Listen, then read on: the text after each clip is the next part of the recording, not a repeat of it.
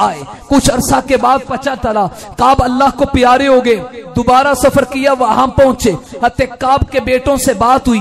कहा, नबुवत की निशानी तुम्हारे पास है। कहा, जी है। कहा, वो चादर मुझे दे दो। बीस हज़ार दिरम तक बात गई हते मुआविया ने बीस हज़ार दिरम दिए। नबी की चादर ली, वापस आए। नबी की चार निशानियाँ आपके पास हो गई। हुजूर के बाल मुबारक, नबी के नाखून मुबारक, नबी का कुर्ता मुबारक, नबी की चादर मुबारक। फलम्मा हज़रत वफातु, औसाली बनी ही युकफन फ़ी सियाबी रसूलिल्लाह सल्लल्लाहु अलैहि वालिहि वसल्लम अल बिदाया वन निहाया में अलामा इब्ने कसीर रहीमहुल्लाह ताला और दीगर मुर्रिकीन ने लिखा है, जब आपकी वफात का वक्त आया, आपने अपनी ब्याद में पीछे वालों को वसीयत की, जब मुझे कब्र की बुताल में उतारने लगो, ये मेरे नबी के बाल मुबारक मैंने ज़िंदगी में संभाल के रखे, ये मेरे नबी के नाखून मुबारक है, ये मेरे नबी की चादर मुबारक है, मुझे कफन की चादर बाद में देना, मुस्तफ़ा की चादर पहले मेरे जिसम पे डाल देना, इन मेरे नबी के तराशों को लो नबी के नाखनों को लो। फजालूहा फ़ी आईनी व समई व उजुनी व अनफी। इन बालों को मेरी आँखों का कजला बना देना। नबी के नाखूनों को मेरे होंठों की जीनत बना देना। मेरे सजदे की जगहों पे नबी के बालों को सजा देना। अल्लाह से उम्मीद करता हूँ, नबी के इन मुए मुबारक और इन तराशों की बरकत से रब मेरा मामला आसान फरमाएँगे। आपकी वसीयत के मुताबिक सन इकसठ हिजरी को, सन साठ हिजरी को आपका इंतकाल हुआ। दमिश के अंदर आपका मिजार बना। आपकी वसीयत पे अमल किया गया। उस वक्त से लेकर आज तक नबी की निशानी जिसम पे रखकर मुआविया सोया पड़ा है। अल्लाह की कसम, अहलो सुन्नत वल जमात नबी की चादर का इनकार नहीं करते। जो अली पर आई, जो फातिमा पर आई, जो हसन पर आई, जो हुसैन पर आई, मेरा और मेरे बड़ों का अकीदा है। नबी ने चादर लेके कहा, अली नीचे आओ, हसन नीचे आओ, हुसैन नीचे आओ, फातिमा नीचे आओ, और दुआ की अल्लाह तहीरहुम ततहीरा। मेरा और मेरे बड़ों का कीता। नबी पाक है, नबी की चादर पाक है। इस पाक चादर के नीचे आने वाले अली भी, हसन भी, हुसैन भी, फातिमा भी पाक है तो ये चादर अगर पाक है तो अब यहाँ देख, ये नाखून किस नबी के हैं? ये बाल किस नबी के हैं? ये चादर किस नबी की है? जो चादर उधर आई, उसी नबी के नाखून इधर आए, उसी नबी के बाल इधर आए, उसी नबी की ततहीर इधर आई, और मुआविया उस वक्त से ले रहकर आज तक नबी की चादर तले आराम कर रहे हैं कि अमत का दिन होगा।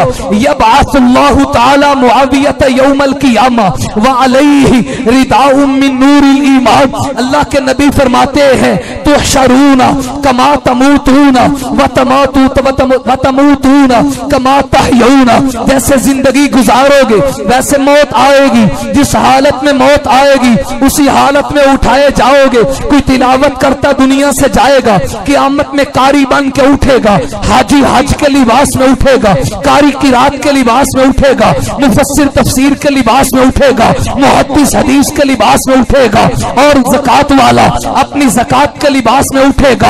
हाजी, अपने लिबास में उठेगा। मैं कुर्बान जाऊँ मुआविया। जब तेरी बारी आएगी, हशर का मैदान होगा। अगले पिछले सब देखेंगे, आप उठेंगे तो मुस्तफ़ा के लिबास में उठेंगे।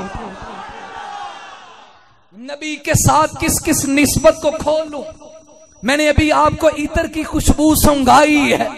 ये नबी के साथ निस्बतें हैं। एक तरफ़ से मैंने सुना, एक शख्स कहने लगा, हज़रत मुआविया को नबी ने बदुआ दी बदुआ दी कि तू मेरे पास आए। वो खाना खा रहे थे। नबी, हज़रत मुआविया को नबी बुला रहे हैं। मुआविया आए नहीं। हुजूर ने कहा, आया क्यों नहीं? किसी ने कहा यार सुला वो खाना खा रहा है। कहा, बताया नहीं था नबी बुला रहे उसने कहा, जी, बताया था। हुजूर नाराज़ हुए। अपने बदुआ दे के कहा, जा, तेरा पेट कभी ना भरे। मैंने कहा, पगले कहाँ से पढ़ा कहते हैं, फुला किताब में। मैंने कहा, उस किताब का हवाला क्या है? हवाला गायब था। कहता है, तारीख से पढ़ा मैंने कहा, किसने लिखा? आगे काम गायब है। यू तारीख के गंदे चीथड़ों को लिया। नबी के सहाबी पे एतराज़ कर दिया। जब मैंने हदीस को देखा तो मुझे असल वजह मिल गई कि वो दुआ है क्या थी, वो वाक्य है क्या, वो वाक्य ये था, नबी सफ़र कर रहे हैं, सवारी पे सवार है आपके साथ पीछे हज़रत मुआविया बैठे हुए आगे नबी है, पीछे मुआविया है। आगे नबी है, पीछे मुआविया है। सवारी पे सवार है। अब तवज्जो रखना जरा। आपसे सवाल करता हूँ अजनिया वाला के गैरतमंद मुसलमान भाई, फिरका वारी ये जहन से निकाल के थोड़ी देर के लिए जवाब देना, जो आगे बैठा हो, उसका कौन सा हिस्सा? पीछे वाले के कौन से हिस्से से मिलता है?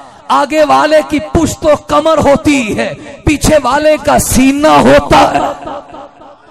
पीछे वाले का सीना होता है। अब हदीस सुनो, काना मुआविया रादिफन नबीया सल्लल्लाहु अलैहि वसल्लम, नबी के रदीफ थे। रदीफ कहते हैं जो सवारी में पीछे सवार हो। इसी दौरान चलते चलते हुजूर ने कहा, मुआविया, मा यलीनी मिन का तेरे जिस्म का कौन सा हिस्सा मोहम्मद के कौन से हिस्से से मिला हुआ है? आपको पता है मोहरे नबूवत कहाँ थी? हाय हाय। मोहरे नबूवत। दोनों, हिम्मत से बोलो भाई, और डर के नहीं बोलो भाई, हिम्मत से बताओ। दोनों, मैं जिम्मेदार हूँ हवाले का। दोनों कंधों के दरमियान मोहरे नबूवत। नबी की कमर ववाजाना अन का विजरक ववाजाना अन का विजरक नबी, हमने आपके सीने को नहीं खोला, हमने आपकी कमर का बोझ हल्का नहीं किया। रब जिसे बयान करे, वो कमरे नबुवत, वो मोहरे नबुवत, पीछे हज़रत मुआविया है। कहा, बाता नहीं। या रसूला मेरा पेट, मेरा सीना, वो आपकी पुश्त और कमर के साथ है। अल्लाह के रसूल ने फरमाया अल्लाह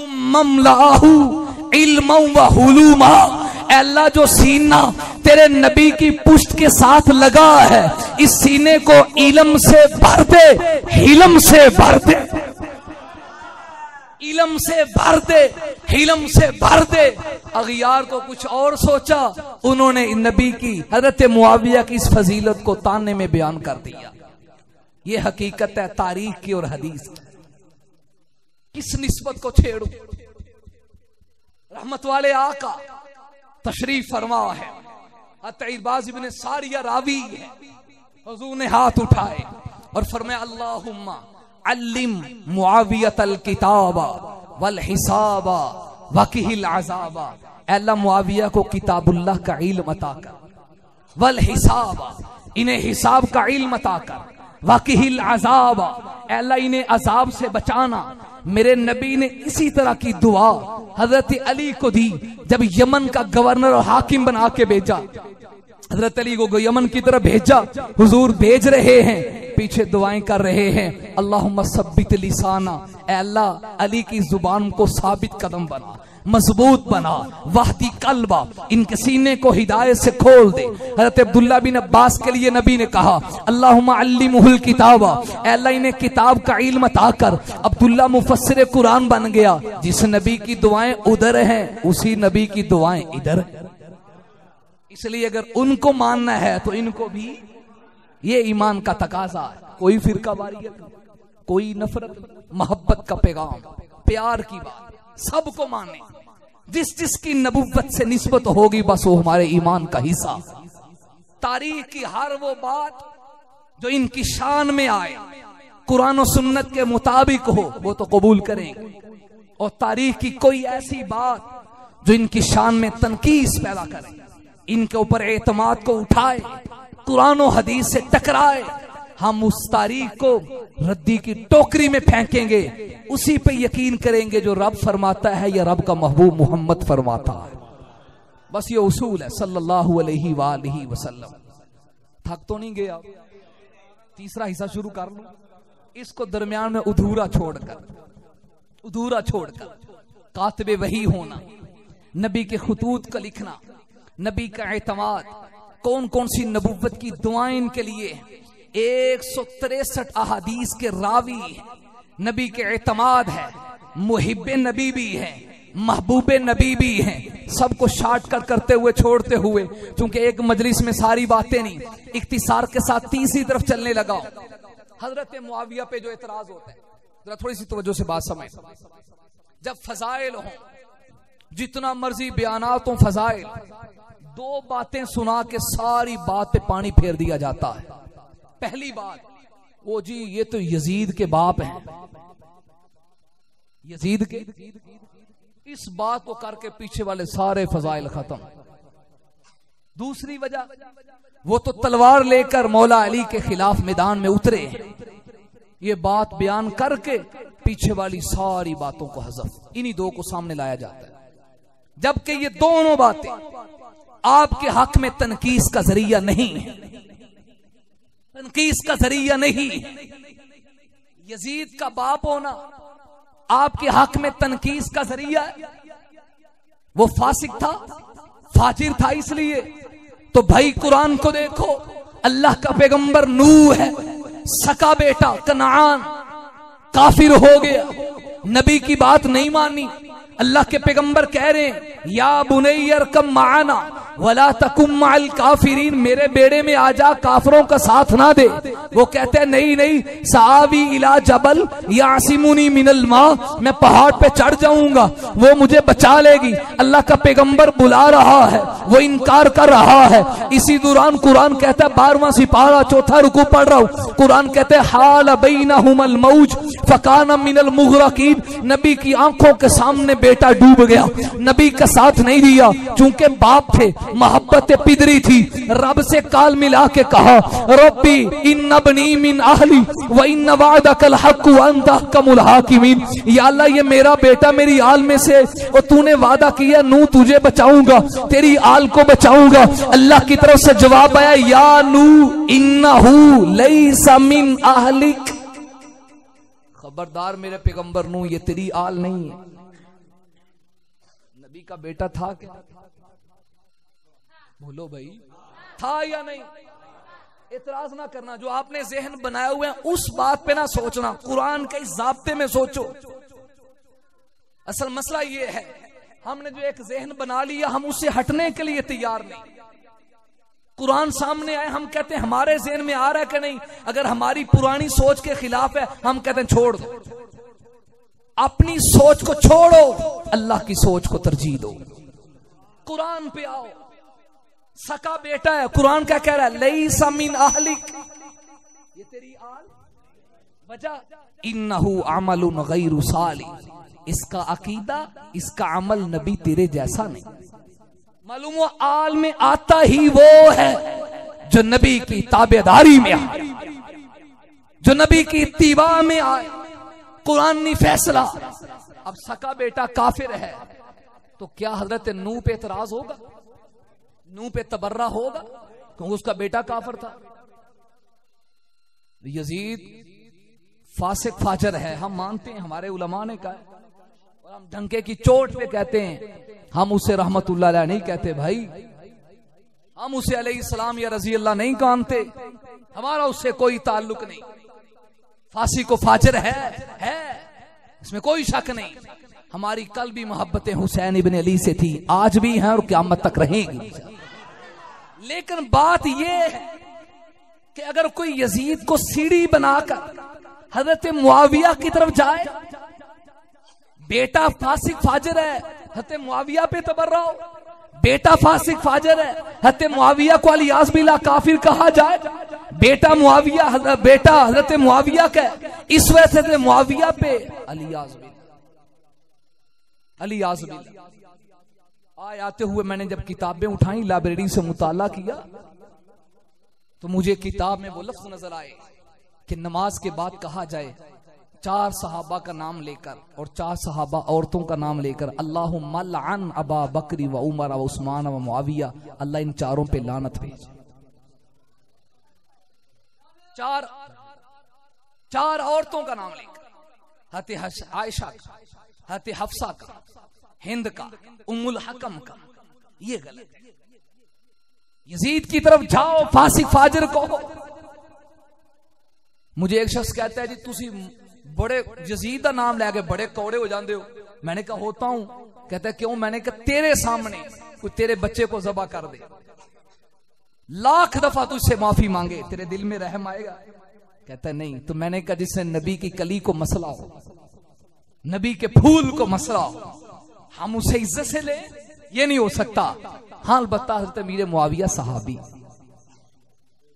उसका अमल उनके साथ, उनका अमल उनके साथ।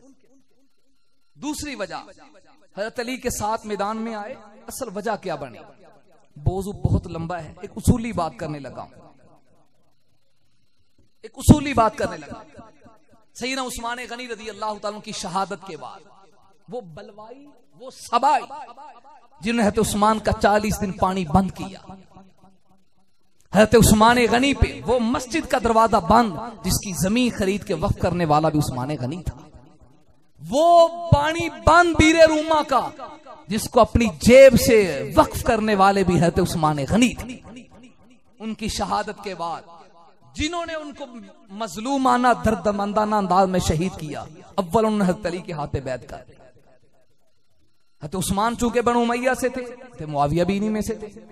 हते उस्मान गनी का सब ज़्यादा, साहिब ज़्यादा, वो शाम में हते मुआविया के पास पहुँचा। अबू के किसास का मुतालबा करो। अतली ने जब साहबा इकराम ने बैत शुरू की, आसपास पैगाम में बैत भेजा तो शाम में भी पहुँचा। उस वक्त मीर मुआविया शाम के गवर्नर थे। हज़रत उमर के जमाने से चलते आ रहे थे। और हज़रत उमर आम बंदे को गवर्नर नहीं बनाते थे। बड़ी कड़ी शराय फिर बड़ी लंबा मौजू निकल जाएगा बड़ी कड़ी सख्त शराय हज़रत उमर का इंतखाब कोई आम नहीं होता था। उमर की ज़ुबान पे कुरान बोलता था। उमर की ज़ुबान पे वही बोलती थी। इनका इंतखाब इंतखाब खुदाबंदी कहलवाता था। फिर हज़रत मुआविया के कारनामों की वजह से उस्मान गनी के जमाने से भी गवर्नर चलते आ रहे थे। सबसे पहले बहरी बेड़ा, जो समंदर में बनाकर जजीरों पर भी इस्लाम का परचम लहराया, वो इस्लामी तारीख में सबसे पहला नाम हज़रत मीर मुआविया आपने उमर से इजाज़त ली थी उन्हें ना दी है उस्मान से ली उन्हें दे दी। अफ्रीका के जजीरों को काटा, जंगलों को काटा। यह तो मुआविया ही का दौर था, जिससे उकबा बिन नाफे फतह करते करते अफ्रीका तक पहुँचे। अब वहाँ गए तो आगे काला पानी और जंगल है। लोगों ने कहा, जी, आगे कोई बंदा जाकर ज़िंदा वापस नहीं आ सकता। हज़रत, वापस आ जाओ। पर मैं नहीं। साहब इकराम जो साथ थे, दस हज़ार का लश्कर था, टीले पे खड़े होकर दुआ की। अल्लाह तू गवाह हो जा, तेरे नबी का कलमा लेकर यहाँ तक पहुँचे। हते मुआविया का लश्कर। फिर वहाँ खड़े होकर जंगल के दरिंदों को खिताब किया। तारीख तो उठाओ, पढ़ो तो सही। थोड़ी सी बात करके सारी ज़िंदगी पे पानी। जंगल के दरिंदों को खिताब करके फौजे मुआविया कहा अयतुहा सिवा वल किलाब। उखरुजू मिन हाजिहिल गाबा नहनु जंगल के दरिंदों, शेरों, भेड़ियों, जानवरों, हम हुजूर के सहाबा हैं। यहाँ दीन की दावत लेकर आए हैं जंगल को खाली कर। बड़े जानवर से लेकर छोटे जानवर तक। अपनी पुश्तों पे अपने बच्चों को लाद के जंगल को खाली कर रहे उस वक्त के दरिंदों ने भी सहाबा का हया किया। ये पैगंबर के सहाबा की आवाज़ है। जंगल खाली हुआ। हते उकबा बिन नाफे के हुक्म से जजीरों को जंगल के दरख्तों काटा गया। वहाँ जाके केसरिया नामी शहर आबाद हुआ। वहाँ मस्जिद बनी। वहाँ के रहने वाले बताते हैं, हज़ारों साल बीत गए। मूजी जानवर तो क्या, छोटे जानवर को भी हमने जंगल में नहीं देखा। फतह करते करते आगे पहुँचे। ज़मीन खत्म हो गई, काला पानी शुरू हो गया। उकबा बिना हते मुआविया का दौर सुना रहा हूँ। अपने घोड़े के पाओ को पानी में डाल दिया। और अंदर वाले, आगे वाले पहुँचे, डाल के कहा अल्लाह शहद। अल्लाह शहद। लौला हाजल बहरुला अल्लाह, ज़मीन खत्म हो गई। मोहम्मद के सहाबा का जज्बा अब भी जवान है। हम खत्म नहीं हुए। अल्लाह ज़मीन आगे होती, आगे भी जाते। ये दौरे मुआविया की बात कर रहा हूँ। पुर्तगाल से लेकर चीन तक निसब ज़मीन से जायद रकबे पर आपने इस्लामी परचम बुलंद किया। उस वक्त की आबादी एक करोड़ बीस लाख मुरबा मील थी और हुजूर की नबुवत के मकासिद में से एक मकसद ये था यूज़ ही रहू दीन कुल्ली, नबी के दीन को दुनिया पे गालिब करते। अब गालिब तब था जब आधे से ज़्यादा हो। एक करोड़ बीस लाख का आधा बनता है साठ लाख। और तमीर मुआविया ने चौसठ लाख। पैंसठ हज़ार मुरबा मील पे इस्लाम का परचम बुलंद किया। असल वजह ये, जो फतूहात हुई, वो भड़कती उठी जो निकल आए। तो फिर सैयद अमीर मुआविया ने हज़रत अली से ये मुतालबा किया, हज़रत बैत ज़रूर करते हैं, पहले आप अपनी सफों से हज़रत उस्मान के कातिल निकालो पहले किसास हो, फिर बैत हो। हज़रत अली का मुवक्फ क्या था? नहीं मुआविया, अभी हालात बहुत सारे फितना बर्दाश्त तो पहले फितने में है। पहले हम बैत करते हैं, हालात ठीक हो जाएँगे, हम आपस सफों को मज़बूत करें, फिर दुश्मन को निकालो। असल में तीसरा गुरोह था, जो काम कर रहा था दोनों में, कि दोनों में इतिहाद ना हो। ये बात फैलती फैलती आगे चली। दोनों की, जो आमने सामने आए। अब यहाँ सवाल होगा, जब लड़ाई हुई है तो फिर मोहब्बत तो ना हुई। फिर तो दुश्मनी हुई। तो कुरान करीम ने इसकी मिसाल दी है। एक दफ़ा लड़ाई होती है आपस में किसी अनाद की वजह से। और कभी लड़ाई होती है, इनाद नहीं होता, बुग्ज नहीं होता, कुफर की लड़ाई नहीं होती, गलत फाहमी और तीसरे ग्रोह के मफाद परस्ती की वजह से। हज़रत मूसा इस्लाम तूर पे गए, हारून अली इस्लाम की ड्यूटी लगा के गए पीछे कौम का ख्याल करना, सामरी ने काम किया, कौम को बछड़े की पूजा पे लगा दिया। मूसा इस्लाम वापस आए, हारून इस्लाम को क्या कुरान क्या कहते हैं? सर के दाढ़ी के बालों से पकड़ा, सर को खेचा सोलवा सिपारा पड़ा, हते मूसा ने झंझोड़ा और हारून कहने लगे, या बना उम्मा ए मेरी माँ दिया पुत्रा। या बना उम्मा, ये नहीं कहा मेरा भाई, माँ दिया पुत्रा, क्यों? माँ के लफ्ज में ही प्यार है ना। और मेरे भाई, मेरी माँ के बेटे लाता खुशबिली वाला विरासी मेरी दाढ़ी के बालों को ना खेचो, मुझे ना मरोड़ो, मुझे ना घसीटो। मैंने तो बहुत कोशिश की, ये छामरी के पीछे चल पड़े। अब देखो, भाई भाई है। तो क्या ये कुफर इस्लाम की लड़ाई बोले, भाई, इस हालत में भी रहमत बाकी है। इस हालत में भी प्यार बाकी है। ये नजा चलता चलता जब आगे बढ़ा सन इकतालीस हिजरी, चालीस हिजरी को, चालीस हिजरी को, रमज़ान।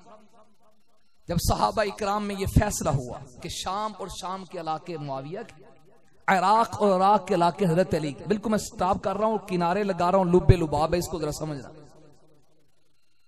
सुलह हो गई? जब सुलह हुई, अब जो बलवाई और खारजी लोग थे, अलियाज बिल्ला, खारजी, जो हज़रत अली का नाम सुनना पसंद नहीं करते माज अल्लाह उन्होंने नारा लगाया। मऊज बिल्लानिल हुक्म इल्ला कि अली का फैसला कुरान के खिलाफ है। और उस वक्त बरसरे आम उन्होंने कहा सवादा कल्ला वजह, अली अल्लाह तेरे चेहरे को नऊज बिल्ला से आ करे। उस खारजियों के नारे के जवाब में हम अहल सुन्नत कहते हैं कर्रम अल्लाह वजह, सिया नहीं, अली अल्लाह तेरे चेहरे को चमकता धमकता बनाए। ये उस नारे का जवाब है कर्रम अल्लाह वजह। इसलिए दूसरे साहबा के लिए, रज़ी अल्लाह इनके लिए कर्रम अल्लाह आमतौर पर बोला जाता है। अब जब ये फैसला हुआ, अब जो शरारती लोग थे, उनको फ़िक्र गई काम तो खराब हो गया। जहर गल है तीसरा बंदा तो फ़िक्र पै जाता ना भी। अब दोनों कट्ठे बैठेंगे तो मैंने नंगा हो जाना। बरक बिन अब्दुल्ला, अमर बिन बकर अब्दुलरहमान बिन मुलजम, ये तीन खारजी हरम में गए। इन्हें कब एक ही हल है, इधर से अली को मनाउज बिल्ला शहीद कर दिया जाए, उधर से मुआविया को शहीद कर दिया तब हम बच सकते हैं। ये फैसला हो गया। अब्दुलरहमान बिन मुलजम बदबख्त ने कहा, हज़रत अली को शहीद करना मेरे जी वो कूफा में पहुँचा। आप रमज़ान मुबारक सहरी का वक्त है, जुमे का दिन है। नमाज़ की तैयारी के लोगों को बुला रहे। इस हालत में आपके ऊपर वार किया गया। हज़रत अली जख्मी हुए। तीन दिन के बाद अल्लाह को प्यारे, शहीद शहीद हो गए। ठीक उसी तारीख को बरक बिन अब्दुल्ला उधर गया। शाम में हते मुआविया पे हमला किया। सुरीन पे हमला हुआ, खंजर। जहर के अंदर उसको पलान लगाई हुई थी। आप बच गए शहीद नहीं हुए, लेकिन जख्मी हुए। दुश्मन ने यहाँ से फ़ायदा उठाना चाहा। इन लोगों ने जल्दी भी देखा, हज़रत अली शहीद हो गए, हज़रत हसन के हाथ पे बैत कर। छह माह गुजरे तो हज़रत हसन को उकसाया गया। तवज्जो रखना भाई, खुदारा तवज्जो रखना। हज़रत हसन को उकसाया गया। मुआविया तो आपके वाले से जंग की, और आप उनसे कुछ निमट ही नहीं रहे। इराक के बहुत बड़े महल मदाइन में जमा हुए। हज़रत हसन ने जब सबको जमा किया, इतना बड़ा लश्कर मुआरिखी लिखते हैं कि वो सैलाब की तरह था। हते मुआविया की तरफ़ से वाला नामा आता है। खाली पेज नीचे दस्तखत। भाई हसन बहुत हो गया। आपस की खाना जंगी से। आओ एक हो जाएँ, इकट्ठे हो जाएँ। और आपकी जितनी है, बिन सुने बिन देखे, मुआविया ने मानी और नीचे दस्तखत कर दिए। हज़रत हसन ने सबको जमा करके कहा ऐराकियो कुफियो लोगो, तुमने मेरे हाथ पे इसलिए बैत की है कि मेरी बात मानोगे? कहा, जी मानेंगे। कहा, जिससे सुलह करूँ, करोगे। कहा, करेंगे। जिससे तोड़ू, तोड़ोगे। कहा, तोड़ेंगे। हज़रत हसन ने ऐलान किया, सुनो फिर। अगर खिलाफत मुआविया का हक था तो मैंने दे दी। अगर मेरा हक था तब भी दे दी। मैं मुआविया से सुलह का ऐलान करता हूँ। अब मैं आपसे दस बदस्ता सवाल करता हूँ। मुझे आप बताएँ, आज का प्रोफेसर, आज का खतीब, आज का मौलवी, आज का जाकिर या आज का कोई शख्स, वो हज़रत अली को ज़्यादा समझता है या सका बेटा हसन और हुसैन ज़्यादा समझता बोलो बोलो। हिम्मत करें। एक सौ। To the point. सका बेटा। मिंबर हज़रत अली का, मस्जिद हज़रत अली की मेहराब हज़रत अली का, हज़रत मुआविया को बुलाया जाता है, हसन हाथ पकड़ के मिंबर पे बिठाते। खड़े हुए, फबाया अला यदि मुआविया, हाथ बैठ के। फिर कहा, कुम या हुसैन हुसैन उठो। हज़रत हुसैन उठे, हज़रत मुआविया के हाथ पे बैठ की। हज़रत साद उठे बैठ की, इस साल इकतालीस हिजरी को, उठाओ तारीख को, आमुल इज्तिमा कठ वाला साल कहा जाता है। एक भी मजमे में नहीं था जिसमें शहजादों की मुखालफत की हो, जो दुनिया के शहजादों के सरदार भी हैं, जन्नती शहजादों के सरदार भी। फिर हर साल हज़रत मुआविया से मुलाकात होती, आना जाना होता। सालाना तीन लाख कभी चार लाख, कभी दस लाख। वफी रिवायत में बीस लाख हदिया हज़रत मुआविया से वसूल किया जाता। हज़रत अली कर रमल्ला वजह, आले रसूल की नज़र में क्या है? हज़रत हसन ने बैठ की तो रसूलुल्लाह की वो पेशीन गोई पूरी हुई।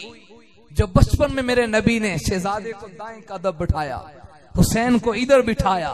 दाएँ बाएँ बिठा के कहा, लोगो, इस मेरे शहजादे हसन को जानते हो? बड़े दुख से कहना पड़ता है। जितना हम हज़रत हुसैन का ज़िक्र करते हैं, इतना हज़रत हसन का ज़िक्र नहीं। अफसोस है। अगर आप नाराज़ ना हो तो एक बात कह दू। डर भी लगन दिया ना। लेकिन कोई डर नहीं, क्योंकि मैं हक समझ के कह रहा हूँ। हज़रत हुसैन के पास बहुत सी ऐसी फजीलतें हैं। जो हुसैन को मिली तो हसन को भी मिली। बल्कि हज़रत हसन के पास के पास एक साल पहले आए। मसरहत हुसैन नबी के नवासे हैं तो हसन भी प्यार से कह दे। यकीन जाने दिल ठर जाता है इन दोनों का नाम लेते। हसैन नवासे हैं तो हसन भी। हुसैन एक साल बाद में, हसन एक साल। तो फिर उनका ज़िक्र क्यों नहीं? अगर हसन कुरान, हुसैन कुरान के कारी तो हसन भी कुरान के कारी। हुसैन अली के बेटे, हसन भी अली के बेटे। हुसैन फातिमा के नूरे नज़र, हसन भी नूरे नज़र। क्या वजह है? जो फजीलत उधर है, वो इधर भी है। उनका ज़िक्र हो, इनका ज़िक्र ना हो। बहुत सी फजीलतें ऐसी हैं जो हज़रत हसन के पास आई, हज़रत हुसैन के पास नहीं आई। खिलाफत। खिलाफत हज़रत हसन को मिली, हज़रत हुसैन को नहीं मिली। हज़रत अली का जनाजा पढ़ाने का मौका आया। हुसैन मुख्तदी थे, हसन इमाम थे। अल्लाह के नबी ने कहा सैदा शबाब अहलिल जन्ना जनती दोनों सरदार है, लेकिन दुनिया में जिसके हाथ पे बैत होके खिलाफत मिली, ये सरदारी हज़रत हसन को मिली। हुसैन नाव से नीचे वाले धड़ में चाल में, धाड़ में नबी के मुशाबे थे। हसन ऊपर वाले जिसम में नबी के मुशाबे थे। हुसैन की चाल नबी जैसी और हसन की ज़ुबान नबी जैसी। हुसैन की चाल नबी जैसी, हसन की गुफ्तार नबी जैसी। सिर्फ़ इसलिए, शायद इसलिए कि हज़रत हसन ने हज़रत मुआविया से सुलह का ऐलान किया था। उस वक्त की सजा दे रहे हो तब से उनका ज़िक्र कम है। तो वजह यह है, हज़रत अली की वसीयत भी थी और रसूलुल्लाह की पेशीन गोई भी थी। इसने पूरा होना था, सच्चा होना था। तो तो मेरे नबी ने क्या कहा? ये मेरा बेटा सरदार होगा। चलिए, हदीस पढ़ता हूँ, तर्जुमा नहीं। कल को ये ना कहना भी तारीख दी गल कर गया। इबनी हाजा सैयद। लाल लोगो, ये मेरा सरदार बेटा सरदार होगा। इसके ज़रिए अल्लाह ताला युसलीहा सुलह करवाएगा। किसमें? बेना फ़ी अतईनी अजीम अतईनी मिनल मुस्लिमीन। मुसलमानों की दो जमातों के जुमले किसके हैं? बोले बोले, अल्लाह के प्यारे नबी के। किसके? नबी के जुमले, ये सुलह करवाएगा। तो सुलह कब होती है? बोलो भाई जब पहले? लड़ाई हो तो ये होना ही था। क्यामत की निशानी थी, पूरी होनी थी। आप इसको इतराज कर रहे हैं?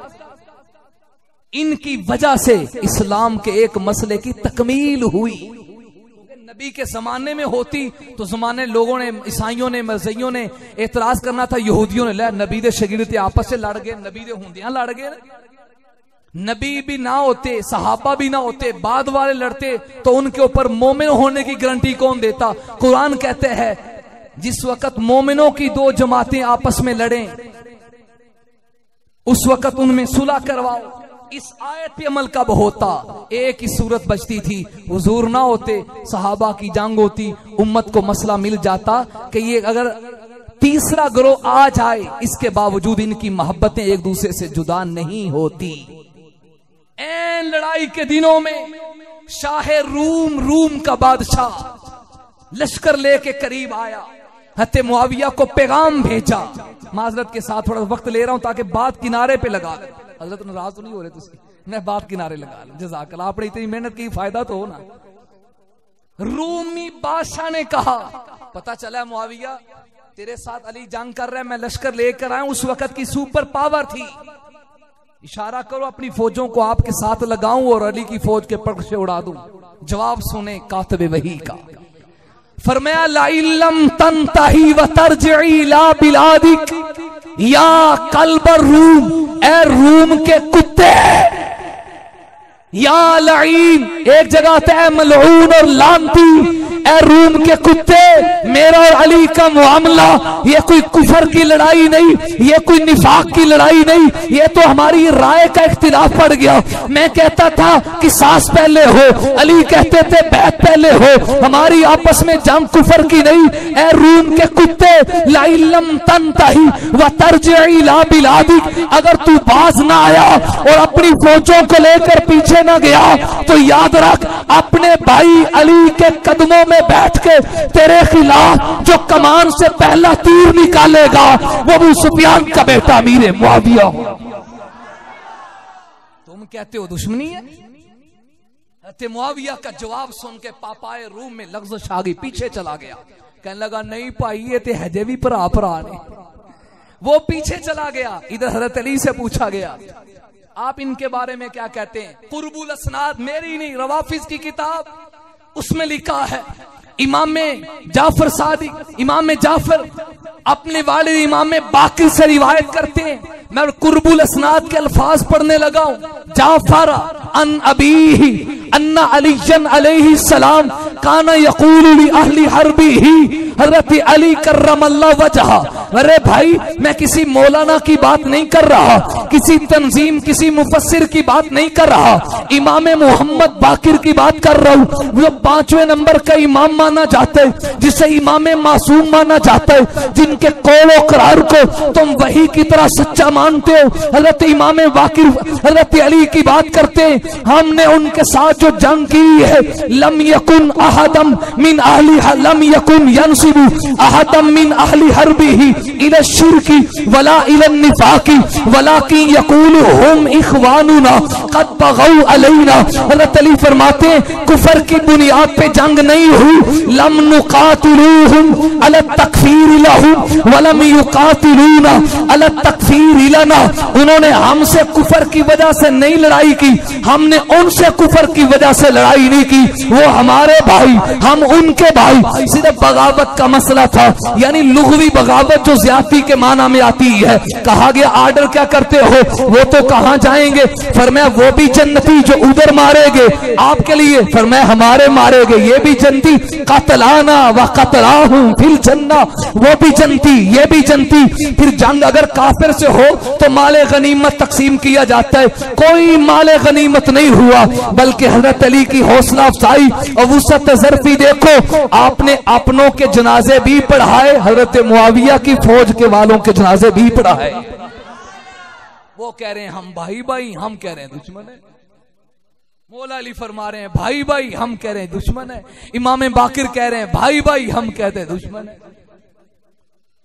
वो जंगे हमारी तरह की लड़ाइयाँ नहीं थी जो हम लड़ते हैं। मैं तेरा मरण जीन मका लिया। अगर महस लड़ाई की बिनाद पे हते मुआविया पे तबर्रा, या हते मुआविया के ईमान पे नौजबिल्ला शक है तो मेरी नहीं। मनाकी में लिखा है, रवाफिज की किताब में, हज़रत अली के सके भाई, हज़रत अकील तो हज़रत अकील, हज़रत अली के भाई अकील भी नबी ताल इस मसला में हज़रत अली से इख्तिलाफ करके हज़रत मुआविया के लश्कर में मिल गए और हज़रत मुआविया की तरफदारी में हज़रत अली के खिलाफ वो जंग कर रहे थे। उधर क्या कहेंगे? चूँकि ये लड़ाई कुफर की थी, इनाद की थी, बुज की थी नहीं, एक हादसा सानिया था, राय का इख्तलाफ था। बाद में सुलह होगी काठ हो गए। यही वजह थी ना तेरे और मेरे नज़रों में वो तारीख के ओराक है, जो 132 हिजरी में तारीख लिखी गई। मैंने शुरू में वादा किया था, आपको बताऊँगा तारीख पे एतमाद क्यों 132 हिजरी से पहले तारीख का एक लफ्ज भी नहीं। और ये वो वक्त था जब बनु मैया की खिलाफत खत्म हुई, बनु अब्बास की शुरू हुई। अबुल अब्बास असफा नामी पहला गवर्नर। तारीख का आगाज़ हुआ और सन 211 हिजरी में सरकारी सतह पे ऐलान हुआ। खबरदार किसी ने बनो मैया के कारनामे को बयान किया। खबरदार किसी ने फुला शख्सियत की बात की। जहर बात है जब एक हुकूमत खत्म होकर नहीं आती है तो नहीं कभी पिछलों के कारनामे बयान नहीं करती। पीटीआई खत्म हो गई है, क्या नून लीग अपने दरसों उनके कारनामे बयान करेगी? कभी नहीं। हो भी तो उसको छुपाया जाता है। कुछ इसी तरह का हाल उस वक्त होया, चूँकि वक्त की हुकूमत उनके खिलाफ थी। न बनु अब्बासिया का दौर हुआ। अब मुर्रखी ने कलम उठाए और सरकारी सतह पे हज़रत अली के अफजल अफजल खलाइक होने का ऐलान किया गया कि अबू बकर अफजल खलाइक नहीं है बादल अम्बिया वो हज़रत अली हैं। अब मुर्रखीन ने उन बनु मैया के खिलाफ तारीख लिखी, उनके कारनामों को दूसरे रंग में बयान किया गया ताकि वक्त की हुकूमत से हमें ओहदे मिले। इसलिए हम कहते हैं, तारीख पे एतमाद ना करो। तारीख जन्नी है, कुरान यकीनी है। तारीख में झूठ हो सकता है, कुरान में झूठ नहीं हो सकता। तारीख की बात बदल सकती है, कुरान की बात नहीं बदलती। आखिर नसीहत नसीहत करूँगा। हज़रत हसन को देखो, हज़रत हुसैन को देखो। उन्होंने फरमाया, इन्ना कदबाया ना वाहदना वला सबीला इला नकजीबैयातीना हम जब किसी को हक कहकर उसके हाथ के बैत कर लें कर सकते हैं, बैत को तोड़ नहीं सकते। हुसैन जैसे सरदार बहत्तर शहीद हो गए, लेकिन इब्ने जियाद को फासिक समझा था, गलत समझा था। उनके हाथों में हाथ नहीं दिए। गैरत हुसैन की बात है। मुआविया को हक समझा था तो बैत की है ना। इनके हाथ पे बैत करके जब वो उन्हें इमाम मार रहे हैं, हमें तुम्हें क्या झगड़ा है? बाकी हम कभी भी हज़रत मुआविया और हज़रत अली का तकाबुल करके, हज़रत मुआविया को, हज़रत अली से अफजल कहना तो बरकिनार दूर की बात। हज़रत अली के हम बराबर भी नहीं मानते। सितारों में चमक हारे की, किसी की चमक ज़्यादा, किसी की कम। अबू बकर, उमर, उस्मान के बाद इस कायनात में सबसे आला मकाम हज़रत अली कर वजह हम हज़रत मुआविया को हज़रत अली पे तरजीह नहीं देते, बराबर भी नहीं करते। सिर्फ़ इतना कहते हैं, वो नबी के सहाबी। हत मुआविया सहाबी और सहाबी पे तबर्रा जायज़ नहीं सहाबी पे तनकीद जायज़ नहीं तो कोशिश करें, तारीख की बजाय कुरान पे एतमाद करें। आज फितने का जमाना है, अल्लाह के नबी ने तस्वीर से मिसाल दी, जब दाना टूट जाता है ना, धागा तो दाने पे दाने गिरते हैं, मुसलसल। यू फितनों पे फितने आए तो फितनों के दौर से हम गुजर रहे हैं। लिहाजा एक हल है कुरान सुन्नत से जुड़े। बज़ाहिर देखने में हमें कोई शक्ल सूरत में कैसा क्यों ना हो, जो कुरान सुन्नत के अतमाद से हमें हटाता है, हमें उस तहकीक की ज़रूरत नहीं है। आज इस्लामी तारीख में रजब की दिन को 22 तारीख इस 22 तारीख को ये आदि दुनिया से ज़्यादा पर हुजूर का कलमा बुलंद करने वाली शख्सियत अमीर मुआविया का इंतकाल हुआ है। दुश्मन मुआविया की तरफ़ से, कई सदियों से कुंडों की रस्म जारी है। और नाम क्या दिया जाता है? हज़रत इमाम जाफ़र के कुंडे। याद रखें, आलो सुन्नत ही नहीं, रुवाफिज की कुतुब में भी मौजूद है, रजब के में हज़रत इमाम जाफ़र की ना विलादत है, ना वफात है। ना ज़िंदगी में आना, ना ज़िंदगी से जाना। वजह क्या है? वो हज़रत मुआविया के दुनिया से जाने की खुशी में कुंडे पकाए जाते कुंडे पकाना, कुंडे खाना कुंडे खिलाना, कुंडों की रसक में जाना, एक सहाबी के बुज को जन्म देता है। अल्लाह ना करे कल क्यामत को अगर हमारा गिरेबान पकड़ा गया, ये मेरे सहाबा के बुग्ज में आया है, हुजूर ने मुँह मोड़ लिया तो अल्लाह की कसम कहीं भी पना नहीं मिली। मेरे सहाबा के बारे में अल्लाह से डरना तीन दफ़ा नबी ने कहा। हुजूर के सामने जनाजा लाया गया। रहमतुल्लिल आलमीन, तिरमिजी में हदीस आती है। पढ़ाने लगे, सफ़े बन गई। हुजूर ने कहा, उठा लो, मैं नहीं पढ़ाता। या रसूल्ला आपने इनकार कर दिया।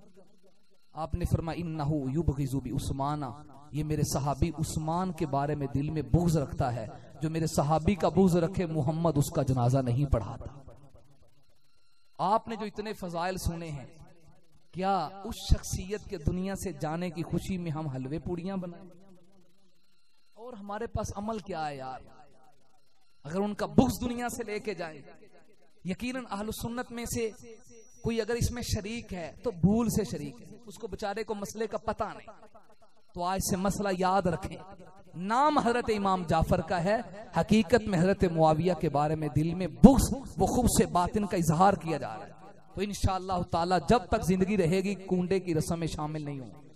कौन कौन वादा करता है? दोनों हाथ खड़ा कर। अल्लाह तू सबके जज्बे को कबूल फरमा। ना कुंडे करेंगे, ना कुंडे खिलाएँगे, ना कुंडों की मजलिस में शरीक होंगे और दूसरी आखिरी गुजारिश, आप बड़े खुश नसीब हैं। इस कदर आपकी तंग तंग गलियाँ हैं, मैं जब भी आता हूँ बोल जाता हूँ। इस दरमियान की मस्जिद में हज़रत ने वो काम मौलाना ज़फ़र साहब ने शुरू कर लिया जो बड़े बड़े मदारिस में शुरू है कितनी हज़रत बच्चियाँ फारग हो रही हैं मौलाना? अल्लाह अल्हम्दुलिल्लाह अल्हम्दुलिल्लाह, ऊँची